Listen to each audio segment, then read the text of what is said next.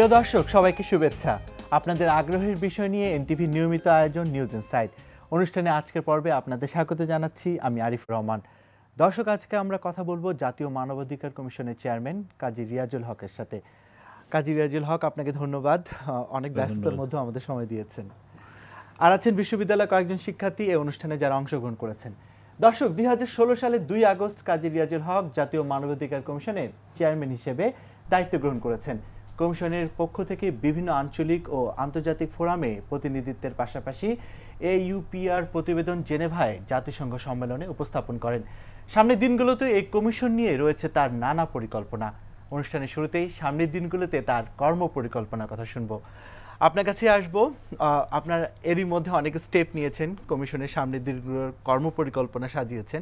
ঠিক কর্মপরিকল্পনার কোন অংশগুলো আমাদের জন্য, অর্থাৎ জাতীয় মানবাধিকার কমিশনের জন্য অনেক কার্যকরী হবে বলে আপনি মনে করেন?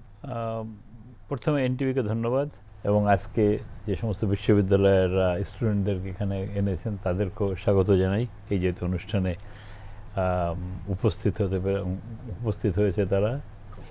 সো আমি এবং মানবাধিকার সম্পর্কে সবারই জানা উচিত, বিশেষ করে ছাত্রদের আরও বেশি জানা উচিত। তো, আপনি যেটা বলছিলেন যে মানবাধিকার কমিশনের পক্ষ থেকে আমরা কি নতুন করে কী চিন্তা ভাবনা করছি দেখুন, মানবাধিকার এমন একটা বিষয় যে মানবাধিকারটা মানুষ তার জন্ম থেকে অনেকগুলো অধিকার নিয়ে তারা পৃথিবীতে আসে। এবং সেই জন্য তার প্রতিটি অধিকারের সাথে যেমন মানবাধিকার যে সংজ্ঞা যেটা আছে, সংজ্ঞাতে মানবাধিকার সম্পর্কে যেটা বলা হয়েছে যে right to life liberty equality and dignity একটা মানুষ যেন স্বাধীনভাবে জন্মগ্রহণ করতে পারে এবং তার সমস্ত বিষয়ে তার যেন তার ডিগনিটির ব্যাপারে তার যেন সমান, অন্যদের সমান অধিকার থাকে। যাতে কোনো ডিসক্রিমিনেশন না হয়। তো আমরা দেখতে পাই যে আমাদের সমাজের বিভিন্ন স্থানে আজকে এই সম- সাম্যের খুব অভাব। ডিগনিটিটা আমরা একদম দেখতে পাচ্ছি মানুষ মানুষকে শ্রদ্ধা করে না। ইভেন মানুষের জীবন, যেটা প্রথমে বলেছেন রাইট টু লাইফ মানুষের জীবনও খুব হালকা হয়ে গেছে। কে কখন কোথায় কীভাবে কাকা হত্যা করা হয়েছে কীভাবে মৃত্যুবরণ করা হচ্ছে, মানুষের যে মানবাধিকারগুলো কীভাবে লঙ্ঘিত হচ্ছে।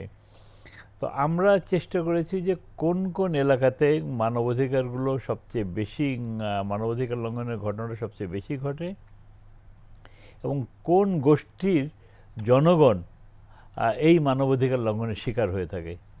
তাতে আমরা দেখতে পেয়েছি যে আমাদের অভিজ্ঞতা যেটা আমাদের স্টাডিতে যেটা এসেছে, সেটা হচ্ছে নারীরা প্রচণ্ডভাবে তাদের মানবাধিকার লঙ্ঘিত হয়। শিশুদের মানবাধিকার অনেক লঙ্ঘিত হয়। আমরা দেখেছি যে আমাদের দেশে যে নৃতাত্ত্বিক গোষ্ঠীর মানুষগুলো আছে, সংখ্যালঘু সম্প্রদায়ের লোকেরা আছে, তাদের মানবাধিকার প্রচণ্ডভাবে লঙ্ঘিত হয়।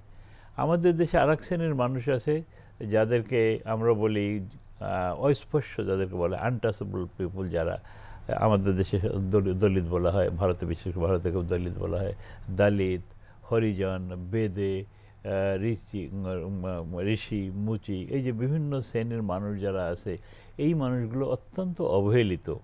একটু আগে যে কথাগুলো বলেছিলাম, যে ইকুয়ালিটির কথা বলেছিলাম, যে মর্যাদার কথা বলেছিলাম, এরা প্রতি পদে পদে সেখান থেকে বঞ্চিত হচ্ছে। তার মানে মানবাধিকার তাদের প্রতি পদে পদে লঙ্ঘিত হচ্ছে। তা আমরা যেটা করেছি যেটা হচ্ছে যে এই মানুষগুলোর মানবাধিকার লঙ্ঘনটাকে আমরা কীভাবে প্রতিরোধ করতে পারি এবং তাদের মানবাধিকারটাকে আমরা কীভাবে উন্নত করতে পারি, মানবাধিকার কমিশনের মেন কাজ হচ্ছে promotion and protection of human rights একটু মাঝখানে একটা কথা বলব যে আপনি যে কথাটা বললেন যে গোষ্ঠীর সবসময় মানবাধিকার লঙ্ঘন হচ্ছে মানে এই দায় কি আমাদের সমাজের না রাষ্ট্রের? না, আসলে মানে এই মানে এই বিষয়গুলোকে বা সার্বিক অবজারভেশন যদি করা হয়, তা আপনার কাছে এই দুটো সমাজ না রাষ্ট্র? আপনার কাছে কোনটা বেশি? না, এটা তো এটা তো আমি বলব যে সমাজ তো আছেই, রাষ্ট্র তো আছেই, সেই সঙ্গে সঙ্গে মানুষেরও দ্বারা মানবাধিকার লঙ্ঘিত হচ্ছে। একজনের মানবাধিকার মানুষের দ্বারা লঙ্ঘিত হচ্ছে মানে একটা সমাজ দ্বারা লঙ্ঘিত হচ্ছে, এবং রাষ্ট্রের যারা কর্মচারী আছে, তাদের দ্বারা মানবাধিকার লঙ্ঘিত হচ্ছে। এবং সাধারণত বিভিন্ন দেশে রাষ্ট্রের কর্মচারীদের দ্বারা যে মানবাধিকারগুলো লঙ্ঘিত হয়, সেগুলোকে তারা মানবাধিকার হিসেবে চিহ্নিত করে আর কি। কিন্তু এছাড়াও বাইরের অন্য যেটা আপনি বললেন, সমাজও হয়। ইভেন কোনো ব্যক্তিকে দিয়ে বা কোনো গোষ্ঠীকে দিয়ে একটা গোষ্ঠীকে দিয়ে আর একটা গোষ্ঠীর মানবাধিকার লঙ্ঘিত হতে পারে। যেটা আপনার বর্তমান সময়ে মায়ানমারে যে ঘটনাগুলো ঘটছে, রাখাইন স্টেটে যে ঘটনাগুলো ঘটছে যে রোহিঙ্গা জাতির উপরে যে নির্যাতনটা চলছে, সেটা রাষ্ট্রীয় মদতে হচ্ছে। আর অনেক ক্ষেত্রে ওই একটা গোষ্ঠীর মানুষ একটা আরেকটা গোষ্ঠীর মানুষের উপরে তারা এই নির্যাতন করছে, তাদের মানবাধিকার লঙ্ঘিত হচ্ছে। তো বিভিন্নভাবে মানবাধিকার লঙ্ঘিত হতে পারে। মিয়ানমারের ইস্যুটা এনে একটা বিষয় আমরা জেনেছি যে, মিয়ানমারে শুরু মানে মানবাধিকার লঙ্ঘনের বিষয়টি কিন্তু মিয়ানমারে ফার্স্ট শুরু হয়েছে। তো বাংলাদেশের মানবাধিকার কমিশন এই বিষয়ে আসলে কি মানে কার্যক্রম হাতে নিয়েছে? তাদের কি কি জানানোর কোনো প্রয়োজন মনে করেছেন আপনারা যে একটি রাষ্ট্রের এইভাবে মানবাধিকার লঙ্ঘন কেন হচ্ছে বা এর থেকে আসলে উত্তরণীয় উপায় কি? হ্যাঁ খুব ভালো প্রশ্ন করেছেন। মায়ানমারের যে মানবাধিকার মায়ানমারের রাখাইন স্টেটে যে মানবাধিকার লঙ্ঘনের ঘটনাগুলো ঘটছে, সে কথা প্রথমকে বলতে হয় যে মানবাধিকার জিনিসটা ইউনিভার্সাল। এটা সার্বজনীন। এটা পৃথিবীর যে প্রান্তেই ঘটুক না কেন, এইটার জন্য উদ্বিগ্ন সারা বিশ্বের মানুষ হতে পারে। এবং তাদের হওয়ার দায়িত্ব রয়েছে, তাদের একটা নৈতিক দায়িত্ব রয়েছে যে একটা জায়গায় মানবাধিকার এটা আমার দেশের ভিতরে না বলে আমি কিছু বলব না ইটস নট লাইক দ্যাট তো মানবাধিক, মায়ানমার আমাদের পার্শ্ববর্তী দেশ এবং আমাদের পার্শ্ববর্তী দেশে যখন এরকম একটা ঘটনা ঘটছে এবং সেই লোকগুলো তাদের দ্বারা, তাদের সেনাবাহিনী দ্বারা, তাদের বর্ডার সিকিউরিটি ফোর্স দ্বারা, তারা বিভিন্নভাবে নির্যাতিত হয়ে তারা যখন বাংলাদেশে আসছে এবং আমরা দেখছি যে কীভাবে তারা নির্যাতিত হয়ে বাংলাদেশে আসছে কীভাবে তাদের মানবাধিকার লঙ্ঘিত হয়েছে। এরপর যখন তারা বাংলাদেশে এসেছে, বাংলাদেশে এসে আমাদের যে জায়গায় উঠেছে, দেখেন আমরা কিন্তু তাদের কারণে আমাদের এখানে যে লোকগুলো আছে, তাদের অনেকটা মানবাধিকার লঙ্ঘিত হয়েছে। কারণ তাদের, আমাদের তো যথেষ্ট রিসোর্স কনস্ট্রেন্ট আছেই বাংলাদেশের মতো একটা দেশের জন্য। এতগুলো মানুষকে আশ্রয় দেওয়া এতগুলো মানুষের থাকার মানে খাওয়ার ব্যবস্থা করা, তারপর তারা বন জঙ্গল উজাড় করে দিচ্ছে। আমাদের লোকেরা যে কাজগুলো করতো সেই কাজগুলো তারা খুব কম পয়সায় করছে। তো এই যে বিভিন্নভাবে আমাদের মানুষগুলোর মানবাধিকার থেকে আমাদের উপর একটা ইম্প্যাক্ট পড়ছে, আমাদের মানব মানুষগুলোর মানবাধিকার লঙ্ঘিত হচ্ছে। আর ওদের তো চরমভাবে মানবাধিকার লঙ্ঘিত হয়েছে। পঁচিশে অগস্ট থেকে রাতেবেলা ওরা একটা ঘটনাকে কেন্দ্র করে বলল যে কিছু মিলিটেন্ট রোহিঙ্গা আমাদের তিরিশটা আউটপোস্টে আমাদের অ্যাটাক করেছে। এবং বারো জন লোক আমাদের মেরেছে। তো এইটাকে একটা কেন্দ্রকে একটা ঘটনা কেন্দ্রে নিয়ে গিয়ে তারা নির্বিচারে মানুষের একটা এই স্টেটের মানুষদের উপর অত্যাচার শুরু করল।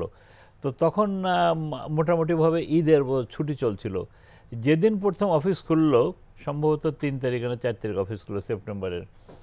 তো আমরা ওই ওই দিনই আমরা একটা মিটিং ডাকলাম যে সাংবাদিকদের নিয়ে এবং যা, যে সমস্ত বেসরকারি প্রতিষ্ঠানগুলো মানবাধিকার নিয়ে কাজ করে, তাদেরকে নিয়ে আমরা একটা মিটিং রাখলাম মিটিং ডেকে আমরা ঘটনাটা বোঝার চেষ্টা করলাম এবং আমরা বেশ কিছু তথ্য কালেকশন করলাম করে আমরা কিন্তু যেহেতু মানবাধিকার আগেই বলেছি, সার্বজনীন ব্যাপারে প্রত্যেকের একটা দায়িত্ব আছে মানবাধিকার সুরক্ষার জন্য।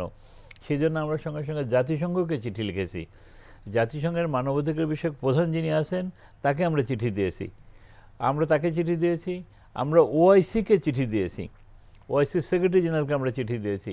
আমরা আসিয়ান যেহেতু মায়ানমার একটা আসিয়ানভুক্ত দেশ মায়ানমার আমরা আসিয়ানের সেক্রেটারি জেনারেলকে চিঠি দিয়েছি। আমরা বিভিন্ন মানবাধিকার কমিশনগুলোকে চিঠি দিয়েছি। ওয়ার্ল্ড ওয়াইড ওয়ার্ল্ড ওয়াইড তার অর্থ হচ্ছে আমরা সেখানে যেটা বলেছি যে মায়ানমারে একটা জাতিকে ধ্বংস করে দেওয়ার উদ্দেশ্যে তাদের উপর নির্বিচারে গুলি করা হচ্ছে তাদেরকে মানুষ হত্যা করা হচ্ছে তাদের বাড়ি আগুন দিয়ে পুড়িয়ে দেওয়া হচ্ছে সন্তানের সামনে তার বাবাকে হত্যা করা হচ্ছে, মায়ের সামনে তার সন্তানকে আগুনের ভিতর ফেলে দেওয়া হচ্ছে, এই যে নির্যাতনগুলো চলছে, এই নির্যাতনগুলো যাতে বন্ধ হয়, আপনারা মায়ানমার সরকারের উপর চাপ সৃষ্টি করেন এবং মায়ানমারের এই এই এইটাকে আপনারা বন্ধ করেন এবং এই লোকগুলো যারা বাংলাদেশে এসে পড়েছে, তাদেরকে এখান থেকে ফিরিয়ে নিয়ে যান, কারণ বাংলাদেশে এত লোকের দায়িত্ব নিতে পারে না। যদিও বাংলাদেশের, আমাদের সরকার প্রধান, মাননীয় প্রধানমন্ত্রী মানবিক কারণে তার পরপর উনি আমরা যাওয়ার পরে পরপরই উনি উনি ইয়েতে গেলেন। এই মেসেজগুলো যখন উনি জানলেন, উনি গেলেন, যেয়ে কিন্তু উনি তাদেরকে মানবিক কারণে আশ্রয় দেওয়ার বিষয়টা উনি সেখানে অ্যাসুরেন্স দিয়ে আসছেন এবং সেটা দিয়েও যাওয়া হচ্ছে বাংলাদেশ সরকারের পক্ষ থেকে। তো আমরা এইভাবে সবাইকে জানিয়েছি। এর বাইরেও আমরা যেটা করেছি যে মালয়েশিয়া, এটা তো সারা পৃথিবীর লোকরা এটা নিয়ে সজাগ হয়েছে। এর কিছুদিন পরে মালয়েশিয়াতে একটা গণ আদালত বসেছিল, আপনারা জানেন। একটা গণ আদালত বসিয়েছিল, সেখানে মায়ানমারের বিচার হয়েছিল। তো মায়ানমারের সরকার এবং মায়ানমারের যারা এই হত্যাযজ্ঞের সঙ্গে জড়িত, তো সেখানে তারা আমাদেরকে রেখেছিল আমরা সেখানে যে সাক্ষী দিয়েছি, আমি সেখানে খুব পরিষ্কার করে বলেছি, মায়ানমারে যেটা হচ্ছে, সেটা একটা জেনোসাইড, গণহত্যার সামিল। এবং এই কথাটা কিন্তু আমি কক্সবাজারেও দশ তারিখে বলে আসছিলাম। যেটা আপনাদের সবগুলো মিডিয়া প্রচার করেছে। আমরা তখন থেকে বলেছি ওটা জেনোসাইড জেনোসাইডের উপাদানগুলো আমরা তো দেখতে পাচ্ছি। এবং তারপরে ওখান থেকে একটা, ওখানে অনেক জুরিস্টরা ছিল, অনেক অভিজ্ঞ লোকেরা ছিল। ওখানে পাঁচ দিন ধরে হিয়ারিং হয়েছে। পাঁচ দিন হিয়ারিংয়ের পরে তারপর তার একটা জাজমেন্ট দিয়েছে। জাজমেন্টে তারা বলেছে যে এটা একটা গণহত্যা জেনোসাইড জেনোসাইড এরা বললে যেটা এসে দাঁড়ায়, তখন জাতিসংঘের উপর একটা চাপ সৃষ্টি হয়। বিশেষ করে জাতিসংঘের নিরাপত্তা পরিষদের উপর চাপ সৃষ্টি হয়। তখন তারা বাধ্য যে এই বিষয়গুলোকে তারা আন্তর্জাতিক অপরাধ ট্রাইব্যুনাল যেটা আছে, আন্তর্জাতিক অপরাধ ট্রাইব্যুনালকে তারা ট্রান্সফার করবে। তো সেই জন্য আমরা জাতিসংঘের নিরাপত্তা পরিষদের উপর চাপ সৃষ্টি করার জন্য আমরা এই কাজগুলো করেছি। এরপরে কয়েকদিন পরে আপনার, এই ছাব্বিশ সাতাশ তারিখে সেপ্টেম্বর মাসের ইস্তাম্বুলে একটা ওআইসি এবং আসিয়ানদের সম্মেলন হলো। সেই সম্মেলন সেখানে আমাদেরকে দাও- আমাকে দাওয়াত দেওয়া হয়েছিল। সেখানে যে আমি একই কথা বলেছিলাম সেখানে যে যে নির্যাতনের কথা একটু আগে বললাম, সেগুলো বলেছিলাম এবং আমি বলেছিলাম ওআইসির পক্ষ থেকে, আসিয়ানের পক্ষ থেকে আপনাদের একটা পদক্ষেপ নেওয়া উচিত এবং আপনি জেনে খুশি হবেন যে টার্কির প্রেসিডেন্ট আমাদের মহামান্য রাষ্ট্রপতির কাছে উনি ফোন করেছেন, কথা বলেছেন টার্কির ফার্স্ট লেডি আমাদের দেশে এসেছে ফরেন মিনিস্টার এসেছে। তো ফাইনালি মিয়ানমার সরকার কি রোহিঙ্গাদের ফেরত নিবে আন্তর্জাতিক চাপের কারণে? আরেকটি বিষয় আন্তর্জাতিক আদালতে বিষয়টি যাবে কিনা যদি কোনো দেশ যে কেউ যদি কারোর বিরুদ্ধে অভিযোগ করলে সেখানে দুই পক্ষকে যার বিরুদ্ধে অভিযোগ করবে তাকে এবং যে অভিযোগ করবে দুইজনকেই রোম ইনস্টিটিউটকে রেটিফাই করতে হবে। মায়ানমার যেহেতু মিলিটারি শাসন ছিল, তারা অনেক আন্তর্জাতিক কনভেনশন তারা রেটিফাই করেনি। এর মধ্যে এটা একটা রোম ইনস্টিটিউটকে তারা রেটিফাই করেনি যার ফলে বাংলাদেশের পক্ষে এটা এককভাবে আন্তর্জাতিক আদালতে নিয়ে যাওয়া সম্ভব না। তবে যেটা করা যেতে পারে সেটা হচ্ছে যে আন্ত সিকিউরিটি কাউন্সিল আপনি জানেন যে সিকিউরিটি কাউন্সিলে পনেরো জন মেম্বার আছে। তার ভিতরে পাঁচজন আছে পার্মানেন্ট মেম্বার মার্কিন যুক্তরাষ্ট্র, ফ্রান্স, ইংল্যান্ড, রাশিয়া এবং চায়না। এই পাঁচজন পার্মানেন্ট মেম্বার আছে। তো ওখানে বলা আছে যে পনেরো জন মেম্বারের ভিতরে এগারো জন মেম্বার এখানে সাপোর্ট থাকতে হবে আর কি। আমাদের বিষয়টা সিকিউরিটি কাউন্সিলে উঠেছিল।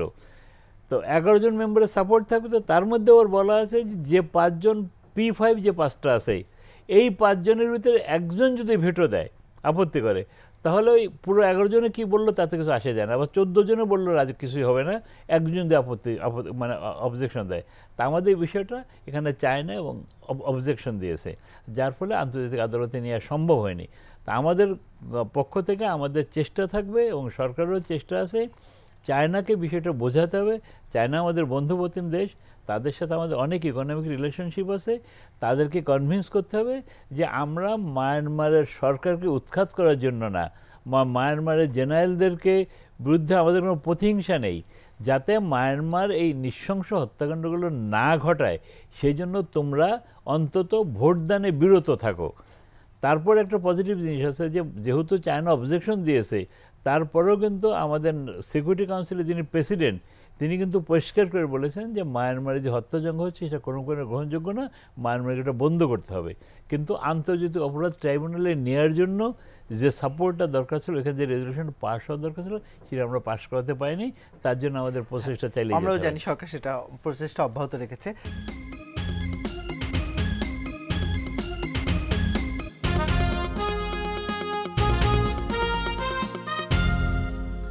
দর্শক এখন আমরা কথা বলব আমাদের আমন্ত্রিত শিক্ষার্থীদের কাছে। আপনাদের কাছে আসব। আমাদের আমন্ত্রিত অতিথির কাছে আপনাদের যদি কোনো প্রশ্ন থাকে, প্রশ্ন করুন। আমার প্রশ্নটি হচ্ছে সংখ্যালঘুদের নিয়ে। সাম্প্রতিক বাংলাদেশে আমরা দেখছি নৃতাত্ত্বিক এবং ধর্ম, ধর্মীয় যে সংখ্যালঘুরা রয়েছে, তাদের উপর আঘা মানে আক্রমণ হচ্ছে একটি প্রায় নিত্য নতুন ঘটনায় পরিণত হয়েছে। এক্ষেত্রে রাষ্ট্রের ভূমিকা খুব একটা সরব না। এই জায়গায় আপনারা মানবাধিকার কমিশন এই পটভূমিতে কি ভূমিকা পালন করছেন?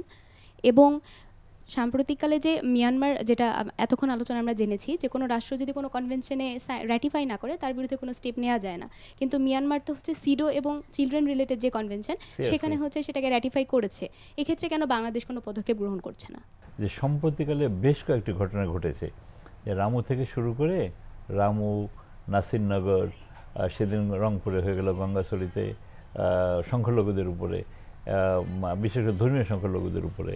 আর কিছুদিন আগে এ- বছরের প্রথম দিকে হয়ে গেল, গত বছরে হলো শেষের দিকে হলো গাইবান্ধাতে গোবিন্দগঞ্জে সাঁওতালদের উপর যে নির্যাতনটি হলো। এর প্রত্যেকটা ক্ষেত্রে কিন্তু জাতীয় মানবাধিকার অত্যন্ত সরব ভূমিকা পালন করেছে। আমরা ওই গাইবান্ধাতে গেছি, তোমরা দেখেছ কোনো জানি না। আমরা গাইবান্ধাতে গেছি, আমি যখন গাইবান্ধাতে যাই, যাওয়ার সময় আমাদের সঙ্গে, আমাদের দেশে একটা পার্লামেন্টারি ককাস আছে। বেশ কয়েকজন মেম্বার পার্লামেন্টের মেম্বার নিয়ে। সে পার্লামেন্টারি ককাসের চেয়ার আছে ফজলে হাসান বাদশাহ, রাজশাহীর এমপি তো ফজলে হাসান বাদশাহ সাহেব, ওই এমপি সাহেব সব আরও তিন চারজন এমপিকে নিয়ে আমরা ওই এলাকাগুলো ভিজিট করেছি। এবং আমরা সেখানে যে চেষ্টা করেছি আইডেন্টিফাই করতে, লোকজনের কাছ থেকে শুনে, যে কি ধরনের নির্যাতন হয়েছে এবং কারা এই নির্যাতন করেছে, কারা সাঁওতালদের এখান থেকে এভিকশন করিয়েছে।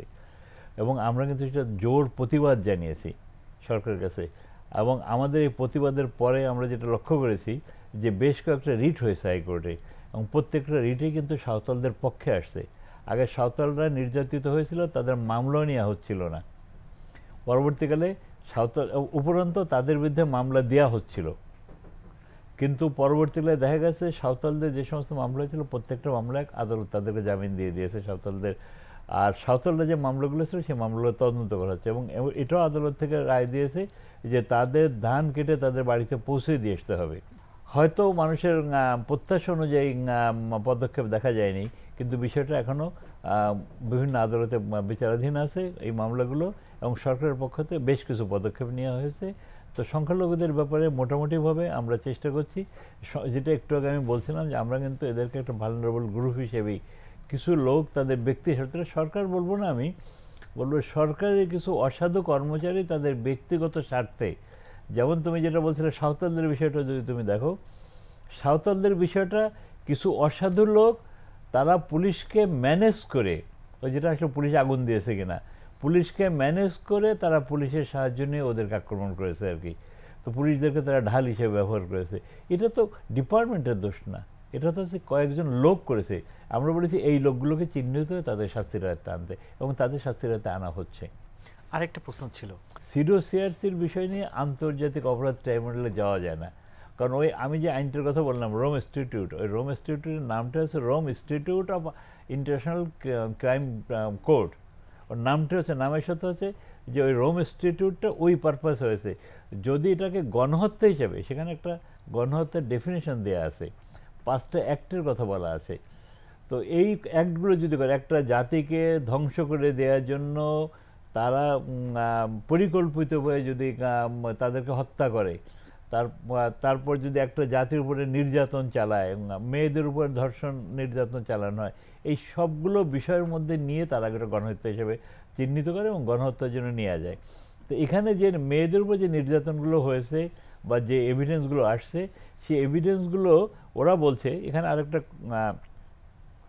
জাতিসংঘের সেক্রেটারি জেনারেল একজন স্পেশাল রিপ্রেজেন্টেটিভ আছে on sexual violence in conflict এই যে কনফ্লিক্টের সময় যে ভায়োলেন্সগুলো হয় তাদের জন্য প্রমিলা প্যাটার্ন ওই প্রমিলা প্যাটার্ন বাংলাদেশে এসেছিলেন, তার টিম নিয়ে, এবং উনি কক্সবাজারও গিয়েছিলেন, আমাদের মানবাধিকার, আমাদের সঙ্গে দেখা করেছিলেন, আমাদের সঙ্গে কথা বলেছেন, এবং উনি কিন্তু এখানে পরিষ্কারটাকে গণহত্যা হিসেবে চিহ্নিত করেছেন। আমার সাথে কথা বলার পরে উনি প্রেস কনফারেন্স করে বলেছেন গণহত্যা এবং কয়েকদিন আগে, তিন, চার দিন আগেও দেখলাম উনি হিউম্যান রাইটস কাউন্সিলে জাতিসংঘের হিউম্যান রাইটস কাউন্সিল উনি এই কথাটা বলেছেন যে এটা গণ, বাংলাদেশে যেটা হয়েছে সেটা গণহত্যা, নারীদের উপরে কীভাবে নির্যাতন হয়েছে, মেয়েদের উপর কীভাবে নির্যাতন হয়েছে, এগুলো তুলে ধরেছে এবং আমাদের কোনো একটা সাজেশন দিয়েছিলেন যে আপনারা এগুলোকে ডকুমেন্টারি করেন। আমরা কিছু ডকুমেন্টারি করেছিলাম, সেগুলো তাকে দেখিয়েছিলাম এবং সেগুলো তাতে কনভিন্সড আমাদের যে ভিডিও ডকুমেন্টারিটা আছে। এটা আমাদের ওয়েবসাইটেও দেওয়া আছে ভিডিও ডকুমেন্টারিটা তো এই বলল যে এগুলোর আরও পর্যাপ্ত ডকুমেন্টারি লাগে কারণ আদালতে যখন কোনো জিনিস উত্থাপন করা হয়, তার জন্য যথেষ্ট প্রমাণ দাখিল করতে হয়। এটা সব আদালতের নিয়ম, আন্তর্জাতিক আদালত আরও বেশি করা। তো সেই জন্য আমরা সেটার জন্য কাজ করে যাচ্ছি, আমরা আরও প্রমাণ জোগাড় করে যাওয়ার চেষ্টা করছি, আমরা একটা স্টাডি করছি যে স্টাডির মধ্যে আমরা ব্যাপক সংখ্যক নির্যাতিত মহিলাদের বিষয়টাকে আমরা আনব। যদি ওইটা আমরা ফেল করি, তাহলে তুমি যেটা বলেছ যে আমরা এই নির্যাতিত মহিলাদের বিষয়টাকে কেন্দ্র করে আমরা এই আন্তর্জাতিক অপরাধে যাওয়ার জন্য আমাদের প্রচেষ্টা চালাবো। এবং তখন আমরা সিরো কনভেনশনটাকে এবং সিআরসিটাকে আমরা সামনে তুলে ধরবো।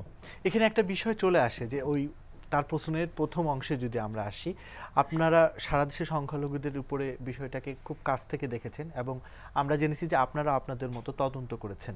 তো পুলিশের তদন্ত পাশাপাশি সরকারের তদন্তে কিন্তু অনেক কিছু উঠে এসেছে। তো আপনাদের তদন্তে কোন বিষয়গুলো মানে এই নির্যাতনের পেছনের যে ঘটনাগুলো ঘটে মূলত কোন বিষয়গুলোকে কেন্দ্র করে এই নির্যাতনের ঘটনাগুলো ঘটেছে বলে আপনাদের তদন্তে কি এসেছে? আমাদের তদন্তে যেটা আসছে যেমন আমি যদি একটা তো ইয়ের কথা বললামই যে পুলিশের ওখানে ব্যর্থ হচ্ছিল স্থানীয় প্রশাসনের ব্যর্থ হতো আপনি বলেছেন যে গুটি কয়েক পুলিশকে ম্যানেজ করে এটা করা হ্যাঁ, হয়েছে। হ্যাঁ। এছাড়াও মানে এছাড়াও আপনারা তো নিজস্বভাবে তদন্ত করেছেন হ্যাঁ, বিষয়গুলোকে। কারণ আহ, একটা জাতি আরেকটা জাতির উপরে যে আক্রমণের যে মনোভাব এবং কারও সহযোগিতা নিয়ে এটার পর অ্যাটাক করা। যেটা দেখা গেছে যে অতীতের তুলনায় কয়েক বছরে আমরা দেখেছি যে বেশি। এটার কারণ আপনি কি মনে করেন? আর এই মনোভাবটা কেনই বা জন্ম হচ্ছে হঠাৎ করে বেশি বেশি করে? এটা আপনাদের তদন্তে আসলে কি বের হয়ে এসেছে? আমাদের তদন্ত আমাদের তদন্তে যেটা আসছে যেমন নাসিরনগরের ঘটনা যদি আমরা বলি ব্রাহ্মণবাড়ির নাসিরনগরের ঘটনা। রংপুরের ঘটনা আমরা আচ্ছা, দেখেছি অনেক জায়গায়। নাসিরনগরের ঘট- নাসিরনগরে যেটা পেলাম সেটা নাসিরনগরে পেলাম যে আমরা যেটা দেখেছি আমাদের তদন্ত যেটা আসছে আমরা সেখানে সরকার কাছে একটা প্রতিবেদন পাঠিয়েছে, বলেছি যে আমাদের পুলিশের নিষ্ক্রিয়তা এবং তাদের অদক্ষতা প্রশাসনিক যোগ্যতা, এগুলো স্থানীয় প্রশাসনে যেমন টিএনওরও ছিল, ঠিক পুলিশেরও তেমন হয়েছিল। কারণ পুলিশের বোঝা উচিত ছিল যে এখানে তারা মাইকিং করছে এখানে তারা লোকজন জড়ো- জড়ো করবে এই সমস্ত ইসলামিক একটা আবেগকে ব্যবহার করে তারা অ্যাটাক করতে পারে। এই জন্য পুলিশের যে সতর্কতা নেওয়ার কথা ছিল যে প্রস্তুতি নেওয়ার কথা ছিল পুলিশ এটা নেয়নি। অতএব এ দায় কোনোভাবে পুলিশ এড়াতে পারে না একই স্থানীয় রকম ভাবে প্রশাসন কি সারা। দেশের এই ঘটনাগুলোকে প্রশাসন এবং পুলিশের দুর্বলতার কারণে কি হয়েছে? আমরা এই এই দুটোর ক্ষেত্রে আমরা তাই বলেছি দুটোর ক্ষেত্রে আমরা তাই বলেছি। আর একটা বিষয় বলেছিলাম আমরা সেটা হচ্ছে যে নাসিরনগরের কথা বলেন যদি রামুর কথা যদি বলেন, বিশেষ করে নাসিরনগর, রামু এবং এবার যেটা গঙ্গাচড়িত হলো এগুলোর ব্যাপারে যে বিষয়টা এসেছে সেটা হচ্ছে যে একটা পরিকল্পিত উপায়ে করা হয়েছে। আপনি যে রামুরটা দেখেন এবং নাসিরনগরটা দেখেন, যে তারা ফেসবুকে একটা ফেক আইডিতে কি মেসেজ পাঠিয়ে দিল এবং এই মেসেজ পাঠানোর মতো যোগ্যতাও ওর নেই। তাই না? ওর এই আইটি এক্সপার্টি ওর নেই। তো ওদের পক্ষে যে এটা পাঠিয়ে দেওয়া মানে এটা একটা পরিকল্পিতভাবে কেউ ওদের নাম করে হয়তো পাঠিয়ে দিয়েছে। বিষয়, বিষয়টা বিচারাধীন রয়েছে, এই কথা বেশি আমি কথা বলতে চাই না। তবে অ্যাপয়েন্টলি যা লোকজন বলা বলি করছে আর কি, বা বিভিন্ন তদন্ত, আমাদের কাছে যেটা মনে হয়েছে যে কেউ এটাকে ব্যবহার করেছে ওদেরকে। এবং এই যারা ব্যবহার করছে, তারা হচ্ছে সংখ্যালঘুদের, যারা সংখ্যালঘুদের যারা এদেশে থাকতে দিতে চায় না বা যারা দেশের ভিতরে একটা অস্থিতিশীল পরিস্থিতিতে ফেলে দিতে চায়, সরকারের একটা অস্থিতিশীল পরিস্থিতি ফেলে দিতে চায় তাদের এখানে কিছুটা ভূমিকা থাকতে পারবে বলে আমরা মনে করেছি এবং মনে বলেছি যে আমরা এবং কিছু লোককেও বলেছি। এবং সেখানে আমরা যেটা দেখেছি যে একটা গ্রুপ তো আছেই যারা সরকার অস্থিতিশীল করতে চায় এবং সেখানে সরকারি দলের লোকজনেরও যে ভূমিকা পালন করার কথা ছিল তারাও সেখানে পালন করেনি। কারণ হয়তো এখানে তাদের কোনো ব্যক্তিগত স্বার্থ থাকতে পারে। আমরা আবারও পরের প্রশ্ন চলে যাব। আমার প্রশ্নটি হচ্ছে পুলিশ ইনভেস্টিগেশন বা রিমান্ডের বিষয়টি নিয়ে। আমরা জানি যে আমাদের সংবিধানে আমাদের ইদানিং উচ্চ আদালতেও একটা রিট করা হয়েছিল যেখানে কিছু ডিরেকশন ছিল যে পুলিশ কীভাবে ইনভেস্টিগেশন করবে। আপনি কি মনে করেন পুলিশ ইনভেস্টিগেশনের ক্ষেত্রে বা রিমান্ডের ক্ষেত্রে নির্যাতনটি হচ্ছে না? বা আমরা প্রায়ই দেখি নির্যাতন হচ্ছে বলে কিন্তু আঙ্গুলটি উঠছে। সে ব্যাপারে মানবাধিকার কমিশন কীভাবে কাজ করছে বলে আপনি মনে করেন, কি করছে তারা? আচ্ছা না যে কথাটা বলেছেন যে আমার, আমরা কতগুলো, আমরা বলেছি যে কতগুলো আইনের মানে আমাদের সিআরপিসির কতগুলো ধারার অপপ্রয়োগ হচ্ছে particularly in regards to arrest এবং রিমান্ড যেটা আপনি বললেন, যে ফিফটি ফোর এবং হান্ড্রেড সিক্সটি সেভেন এই দুটো ধারার প্রচণ্ড অপব্যবহার হচ্ছে এবং কাস্টোডিয়াল টর্চারও হচ্ছে। সো এই ধারাগুলোর ব্যাপারে আমরা বলেছি যে, এই ধারাগুলোর অপব্যবহার যারা করছে তাদেরকে বিরুদ্ধে শাস্তিমূলক ব্যবস্থা নিতে হবে। এবং আমরা সেই সঙ্গে সঙ্গে আরেকটা কাজ করেছি, আমরা পুলিশদের জন্য একটা প্রশিক্ষণের ব্যবস্থা করেছি। আমরা বেশ কিছু পুলিশ সদস্যকে আমরা ট্রেনিং দিয়েছি ইতিমধ্যে পুলিশ স্টাফ কলেজে পুলিশের বেশ কিছু অফিসারদেরকে উভয় লেভেলের যারা তদন্ত করে, ধরে মানে সাব ইন্সপেক্টর লেভেলেও করেছি এবং তার উপরের লেভেলে আমরা এডিশনাল এসপি এএসপি এ লেভেলেও করেছি। তো সেখানে আমাদের কাছে যেটা মনে হয়েছে যে তাদের অনেকের জ্ঞানেরও অভাব ছিল। আমরা এই জন্য আমরা নিজের একটা ম্যানুয়াল তৈরি করেছি, যে কথাটা আপনি একটু বললেন যে ফিফটি ফোরের অ্যারেস্টের ব্যাপারে এবং রিমান্ডের ব্যাপারে যে বিষয়গুলো আমরা প্রতি মুহূর্তে দেখছি যে যার অপব্যবহারের ফলে মানুষের অনেক ভোগান্তি হচ্ছে, তাই না? অনেক নিরীহ মানুষকে বিভিন্নভাবে হয়রানি করা হচ্ছে। তো সেটা আমরা বলেছি যে, মহামান্য উচ্চ আদালত থেকে যে রায়গুলো দিয়েছিল এটা যখনই হাইকোর্টের এই থেকে এই ডাইরেকশনগুলো দিয়েছে, হাইকোর্ট তো এখানে শুধু রায়ই দেয়নি, কিছু ডাইরেকশনও দিয়ে দিয়েছে, বলেছে এগুলো সরকারকে প্রতিপালন করতে হবে, মেনে চলতে হবে। কিন্তু সেগুলো আমরা দেখেছি, তখনই আমরা এটা বই আকারে করে আমরা সেটা ওই পুলিশ অফিসারদের মধ্যে আমরা দিয়েছি যে তোমরা এগুলোকে করো না হলে এর দায় দায়িত্ব কিন্তু তোমরা এড়াতে পারবে না, তোমাদের বিচারের সম্মুখীন হতে হবে। এবং সেটা আমরা দিয়েছি এবং পরবর্তীকালে যখন আফোল্ড হলো অ্যাপিলেট ডিভিশনে তো আফোল্ড হয়ে যাওয়ার পরে তো আর কোনো বিষয় থাকল না। এখন তো এটা আইন হয়ে গেল। এটা দেশের আইন হয়ে গেছে যে একটা মানুষকে অ্যারেস্ট করতে হলে বা একটা মানুষকে রিমান্ডে নিয়ে তাকে কীভাবে ব্যবহার করতে হবে, এই যে পনেরোটা ডাইরেকশন আছে, এই ডাইরেকশনের মধ্যে খুব পরিষ্কার করে বলে দেওয়া আছে এবং সেটা প্রতিপালন করার জন্য তাদেরকে বারবার বার করে বলছি এবং যতগুলো এই জাতীয় ঘটনা ঘটছে, আমরা প্রত্যেকটা ঘটনার ক্ষেত্রে আমরা পুলিশকে সঙ্গে সঙ্গে আমরা স্বরাষ্ট্র মন্ত্রণালয়ে চিঠি দিচ্ছি, আমি হোম মিনিস্টারকেও চিঠি দিয়ে বলেছি, আর সচিবকে তো আমরা অহরহ চিঠি দিচ্ছি। চিঠি দিয়ে বলছি যে এইগুলো যাতে প্রতিপালন করা হয় মানুষকে যাতে এইভাবে হয়রানির সম্মুখীন হতে না হয় এবং এতে এতে সরকারের ভাবমূর্তি নষ্ট হচ্ছে কয়েকজন অসাধু লোকের জন্য। এখানে একটা স্যার আমরা জানি স্যার যখনই যেখানে মানবাধিকার লঙ্ঘন হয় সেটা পুলিশের ক্ষেত্রে হোক বা সমাজে যে কোনো শ্রেণির ক্ষেত্রে হোক গোষ্ঠীর ক্ষেত্রে হোক আপনারা সেটার পদক্ষেপ নেন এবং সংশ্লিষ্ট মন্ত্রণালয় সংশ্লিষ্ট অধিদপ্তর আমরা বলি না কেন সেখানে চিঠি দেন। তো এই চিঠির মানে কতটুকু রেসপন্স হয়? মানে অর্থাৎ আমি জানতে চাচ্ছি যে এই চিঠি দেওয়ার পরে আসলে কতটুকু সেই মন্ত্রণালয় বা অধিদপ্তর অ্যাকশন নেয়? হ্যাঁ এটা খুব ভালো বুঝতে পেরেছেন। আসলে ওরা এই যে ঘটনাগুলো, আমরা যে ঘটনাগুলো নেই, আমরা তো সাধারণত কোনো নিউজ থেকে নেই, কোনো কমপ্লেন থেকে কিছু নেই, আবার কিছু কিছু সেন্সিটিভ নিউজ আপনাদের ইলেকট্রনিক মিডিয়া প্রিন্ট মিডিয়া থেকে আমরা যে সমস্ত খবর দেখি, সঙ্গে সঙ্গে আমরা নেই। তো মানুষের কিন্তু প্রত্যাশা থাকে খুব তাড়াতাড়ি একটা রেজাল্ট দেখার জন্য। আর তাড়াতাড়ি রেজাল্ট না দেখলে এটা যত বিলম্বিত হয় তত জিনিসটাকে দুর্বল হয়ে যায়। এটাও একটা কারণ। আপনাদের আপনাদের উপরেও কিন্তু একটা মানুষ আঙ্গুল তুলতে পারে যে আঙুল তুলতে পারে। আমরা যেটা করি কিন্তু একটা পদ্ধতি আছে তো পুলিশের বিরুদ্ধে যখন কোনো অভিযোগ আসে তখন আমাদের বলতে আমাদেরকে সরকারের কাছে প্রতিবেদন চাইতে হয়। আমরা একটা ফ্যাক্ট ফাইন্ডিং করি। ফ্যাক্ট ফাইন্ডিং করে আমরা সরকারকে বলি যে তোমরা তার বিরুদ্ধে ব্যবস্থাটা নাও তো ব্যবস্থা নিতে হলে সরকারের একটা নিয়ম আছে তাদের। তাদের একটা আইন আছে যে আইনের মধ্যে তাদের পুনঃ তদন্ত করতে হবে, যার বিরুদ্ধে ব্যবস্থা নেবে, তাকে শোকজ করবে, তার জবাব নেবে, তারপর তারা একটা তদন্ত কমিটি করবে। এই যে তাদের যে কালক্ষেপণটা করে ফেলে, এবং অনেক ক্ষেত্রে যেটা দেখা যায় যে তারা এই কালক্ষেপণ করে করে করে করে এই জিনিসটা যখন একটু স্থিমিত হয়ে যায়, তখন তারা একটা রিপোর্ট দিয়ে দিল হয়তো যে এই ঘটনার সত্যতা খুঁজে পাওয়া যায়নি। আবার কোনো কোনো ক্ষেত্রে আমরা দেখেছি, এটাও এসেছে যে ঘটনার সত্যতা আমরা পেয়েছি, তবে তার বিরুদ্ধে আমরা এটা আমরা ক্রিমিনাল কেস হিসেবে নিয়েছি, এফআইআর হিসেবে ট্রিট করে আমরা তদন্ত করেছি, তদন্ত করে আমরা ওদের বিরুদ্ধে চার্জশিট দাখিল করেছি এবং বিষয়টা এখন আদালতে বিচারাধীন আছে। তবে এই জাতীয় কেস পরে যেটা বললাম, এই জাতীয় ঘটনা খুব কম, বেশিরভাগ হচ্ছে তারা তদন্ত করে কোনো কিছু পায় না, এটা দিয়ে দেয়। এই কারণে আমরা এখন থেকে একটা ঠিক করেছি যে, আমরা এই জাতীয় ঘটনাগুলো আমরা ওই এজেন্সির কাছে যাতে না যায় আমরা অন্য কোনো নিরপেক্ষ এজেন্সি দিই। আমরা হ্যাঁ। সিভিল এনজিও প্রতিনিধি সরকারের অন্য পরিদপ্তর অন্য দপ্তরের কর্মচারী বা জেলা প্রশাসক তাদের মাধ্যমে আমরা কীভাবে তদন্ত করতে পারি আমরা এখন থেকে সেই ব্যবস্থা নিচ্ছি। কারণ আমাদের অভিজ্ঞতা বলে যে যার অভিযোগ তার কাছে তদন্ত করতে যখন আমরা ওই সরকারের কাছে লিখি তদন্ত করতে গেলে at the end of the day result কিছুই হয় না। খুব স্বাভাবিক একটা কারণ হয়তো থাকতে পারে তারা তাদের দোষটা হয়তো তাদের চোখে পড়ে না। আমরা আবার পরে প্রশ্ন চলে যাব। স্যার, আসলে আমরা বর্তমানে বাংলাদেশে যা দেখছি যে আমাদের একটা করে ইস্যু আসে বা ইস্যুগুলো তার পরবর্তী ইস্যু দ্বারা ঢাকা পড়ে যায়। যেমন হয়তো আমরা কিছুদিন ফেসবুকে রাস্তায় অ্যাক্টিভ থাকি তার পরবর্তী ইস্যু আসলে আমরা কিন্তু ওই ইস্যু নিয়ে আমরা সেই অ্যাক্টিভটা থাকি না। যেমন তনু হত্যা খাজিদা হত্যা খাদিজা হত্যা তারপরে যে আমরা এই রংপুরের ইস্যু দেখলাম ব্রাহ্মণবাড়ির ইস্যু ধীরে ধীরে একটার পর একটা চাপা পড়ছে। এই যে কিছুদিন আগেও দেখলাম খাদ্যের উপর। আক্রমণ। কিছুদিন আগেও দেখলাম হচ্ছে আমরা এই যে নারী শ্রমিকদের উপর আমাদের মধ্যপ্রাচ্য ইউরোপের বিভিন্ন দেশ থেকে বিভিন্ন খবর আসলো।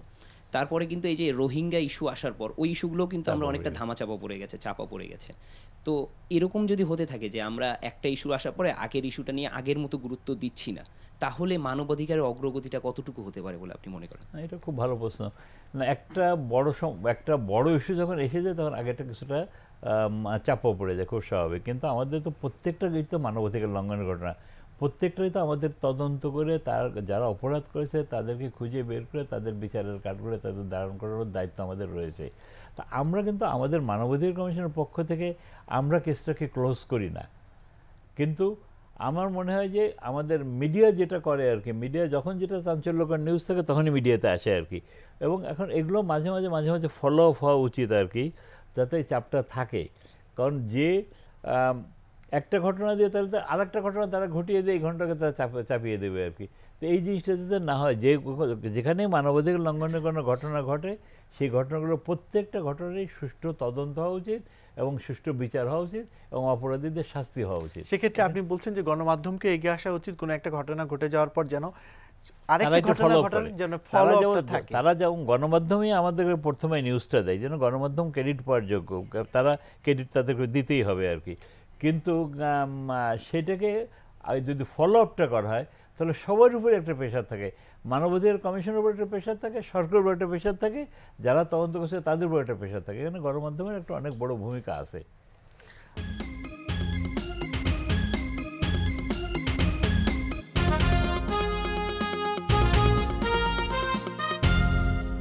দর্শক, এখন আমরা কথা বলব নারী ও শিশুদের উপর। বাংলাদেশে যে নির্যাতনের কথা এবং মানবাধিকার লঙ্ঘনের বিষয়ে আমাদের আমন্ত্রিত অতিথি বলেছিলেন সেই বিষয়টি নিয়ে।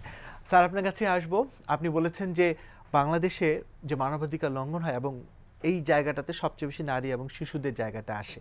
তো ঠিক একটা প্রশ্ন কিন্তু চলে আসে যে এই সাবকন্টিনেন্টাল দেশগুলোতে কি এই বিষয়টা মানে বেশি নাকি পৃথিবীর অন্যান্য জায়গাতেও নারী এবং শিশুদের উপরে মানবাধিকার লঙ্ঘন বেশি হয়? ঠিক, আমি ঠিক ওইভাবে বলতে পারব না ওইরকম কোনো স্ট্যাটিস্টিক আমার কাছে নেই। তবে আর তুলনামূলকভাবে না, ধরেন বিশ্বের অন্যান্য দেশে তো নারীদের একটা এম্পাওয়ারমেন্ট হয়েছে, সেখানে নারী পুরুষের ভেদাভেদটা এতটা নেই।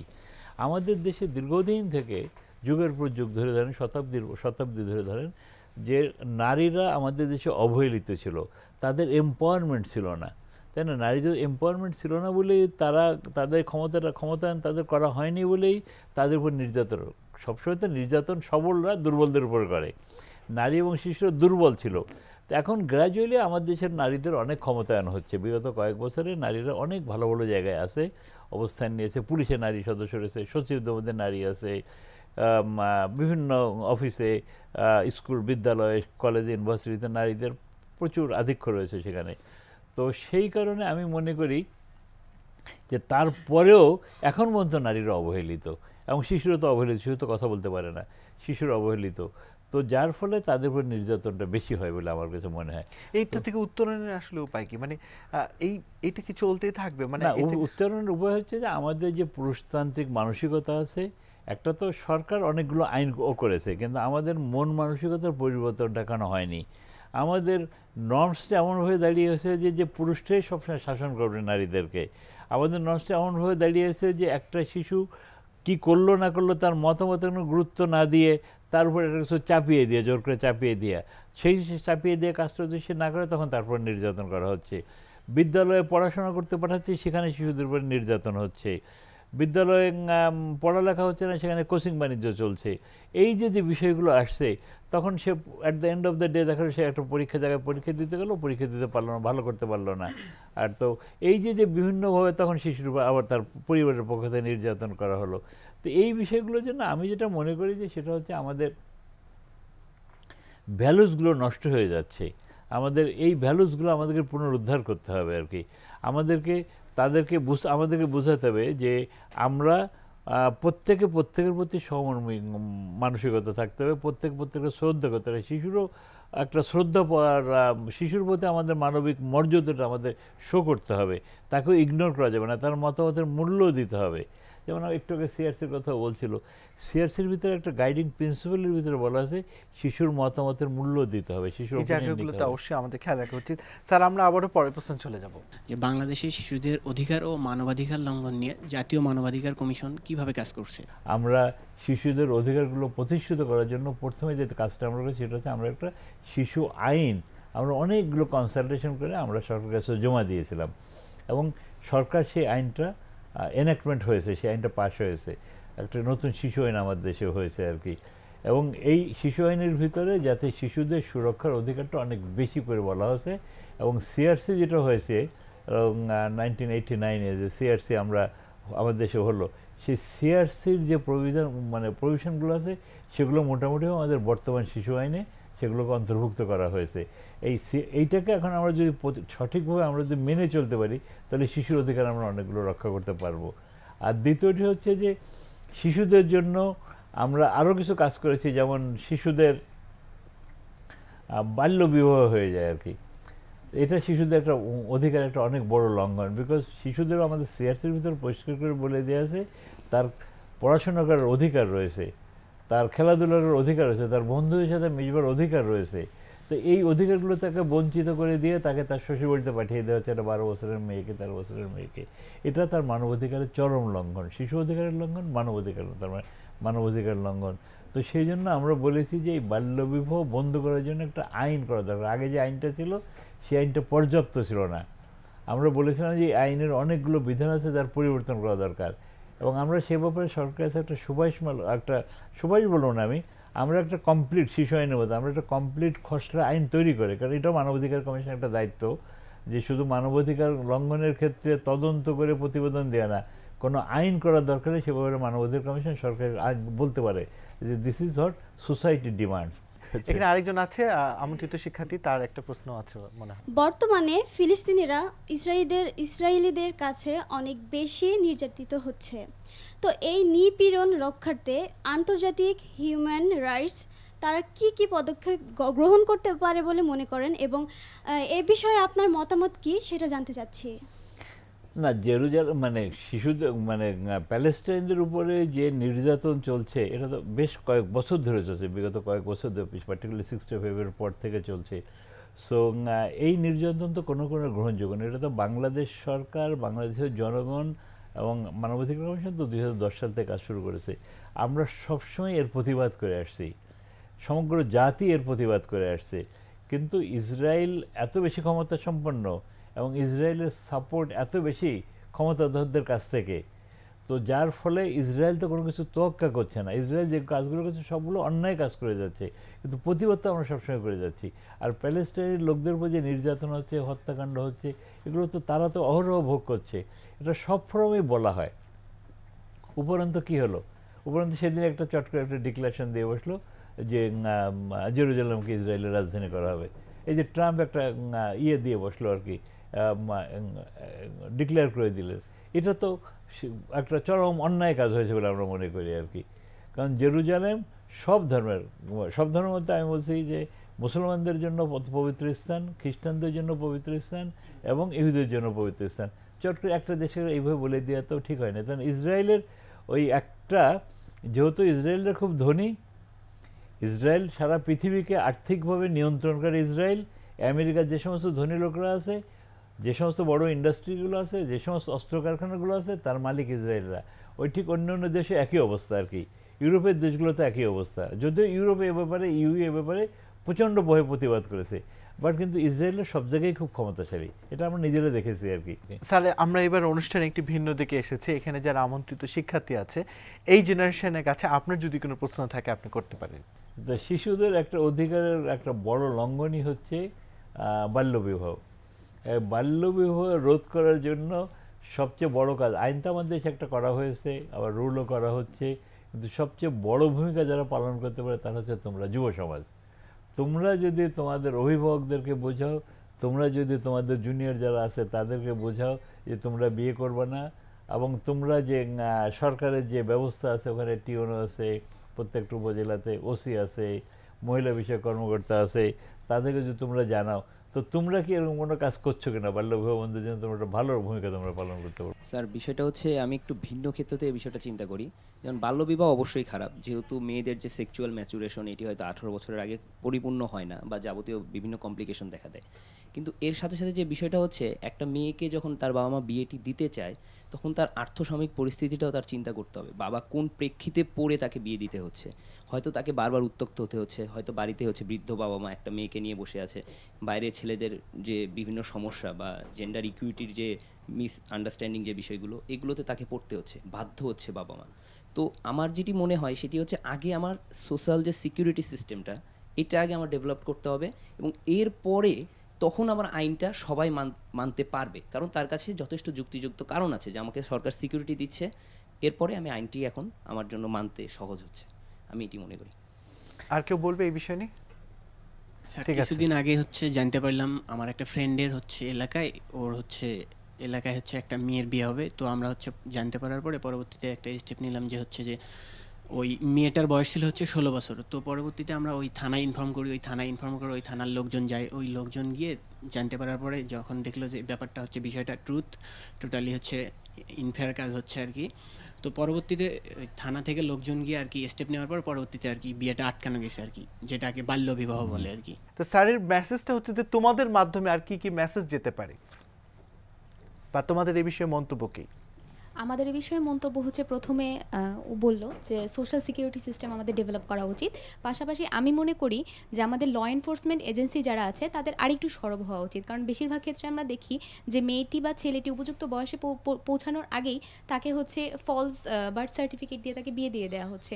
তো এই জায়গায় যদি ল এনফোর্সমেন্ট এজেন্সি আরেকটু সরব হয় এবং তারা যদি শক্ত হয় যে তারা ভুল সার্টিফিকেট যারা দিচ্ছে, তাদের বিরুদ্ধে অ্যাকশন নিচ্ছে, সেক্ষেত্রে মনে হয় তাহলে এই বাল্যবিবাহ বিরুদ্ধে রুখে দাঁড়ানো আরও সহজ হবে।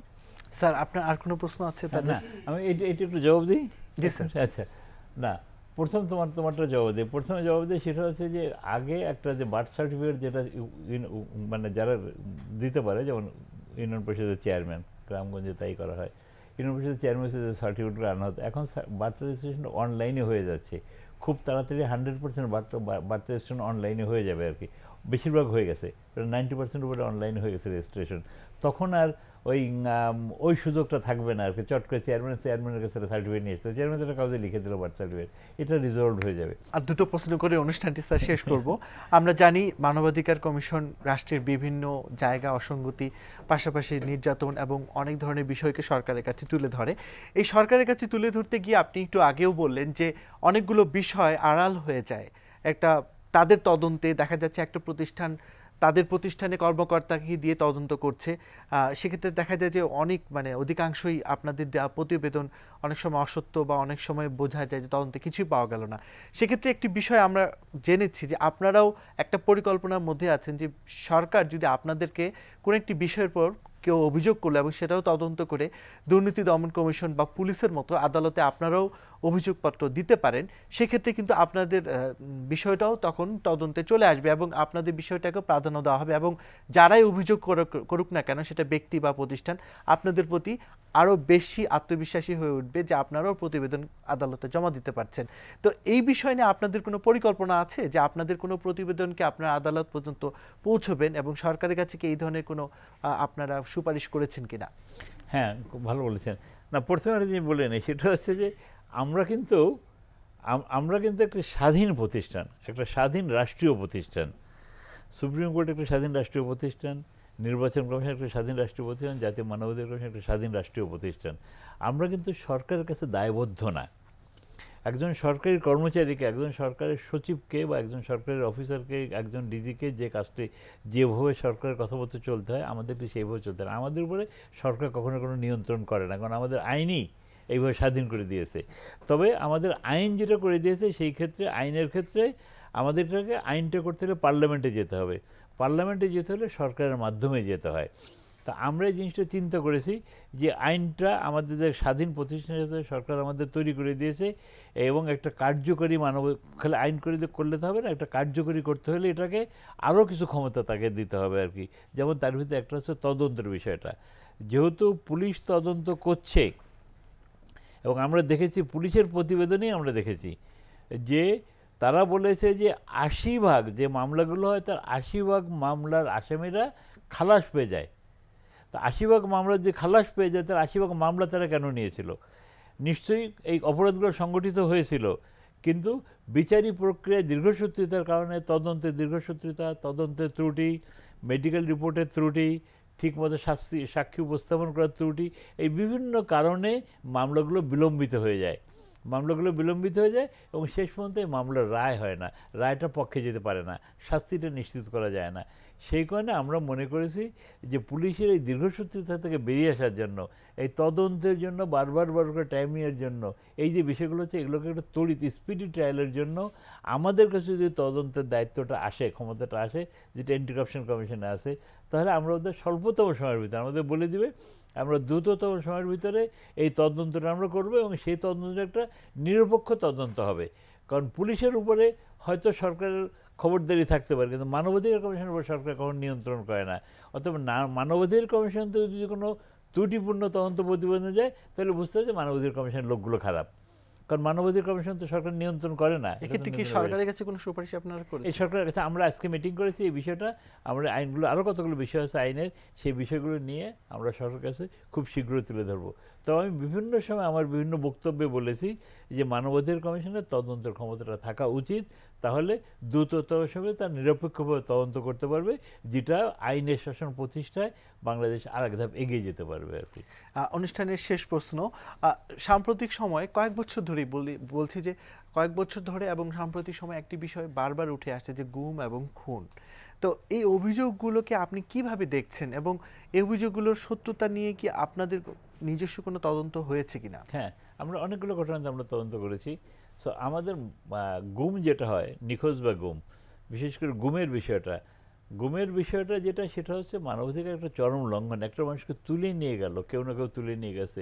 তার গোটা পরিবার, সে কী অবস্থা আছে আল্লাহ জানে, সে জানে। আর তার গোটা পরিবার যে একটা দুশ্চিন্তার মধ্যে থাকে, একটা কি প্রচণ্ড উৎকণ্ঠার মধ্যে থাকে, উদ্বেগের মধ্যে থাকে তো এই জাতীয় ঘটনা, যতগুলো ঘটেছে, প্রত্যেকটা ঘটনার ক্ষেত্রে আমাদের কাছে যেগুলো আমরা দেখেছি, আপনাদের মিডিয়ার মাধ্যমে যে খবরগুলো আমরা পেয়েছি, সঙ্গে সঙ্গে আমরা এটা সরকারকে লিখেছি যে এটাকে বের করে দেয়। কারণ এদেরকে খুঁজে বের করার জন্য যে মেশিনারি, যে মেকানিজম, যে দরকার, সেটা তো জাতীয় মানবাধিকার কমিশনের কাছে নেই। এটাকে এবং এই দায়িত্বটা মানবাধিকার কমিশনের যে, এটা দায়িত্বটা হচ্ছে সরকারের। তো এটা তার আইনশৃঙ্খলা বাহিনীর দায়িত্ব, পুলিশ বাহিনীর দায়িত্ব। তা আমরা সবসময় স্বরাষ্ট্র মন্ত্রণালয়কে বলি যে এদেরকে খুঁজে বের করে নিয়ে আসেন।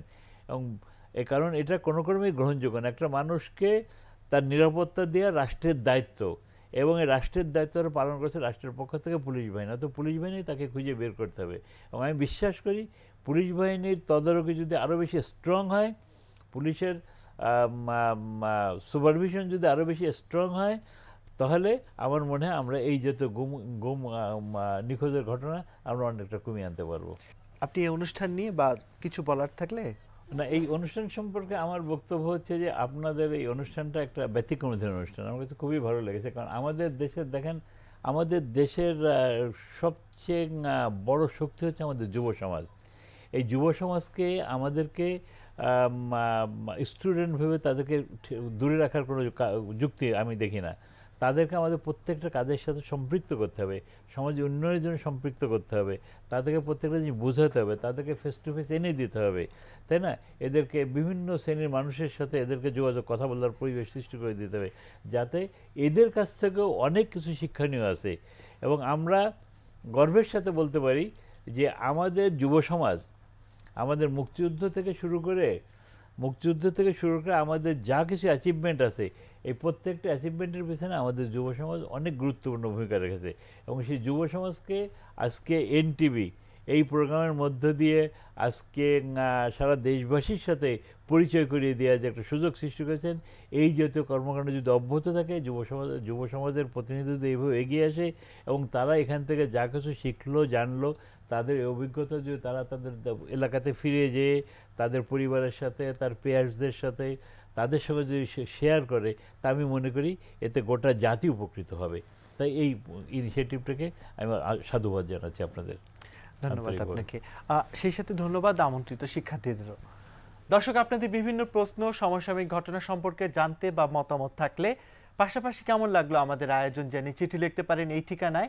প্রযোজক নিউজ ইনসাইট এনটিভি বিএসইসি ভবন সপ্তম তলা একশো দুই কাজী নজরুল ইসলাম অ্যাভিনিউ কারণ বাজার ঢাকা এক দুই এক পাঁচ। আমাদের ইমেলও করতে পারেন news insight at NTVBD dot com এই অ্যাড্রেসে। আর অনলাইনে অনুষ্ঠানটি দেখতে ভিজিট করুন এনটিভি অনলাইন ডাব্লিউ এই অ্যাড্রেসে সবাইকে শুভেচ্ছা জানিয়ে আমি আরিফুর রহমান আজকের মতো বিদায় নিচ্ছি।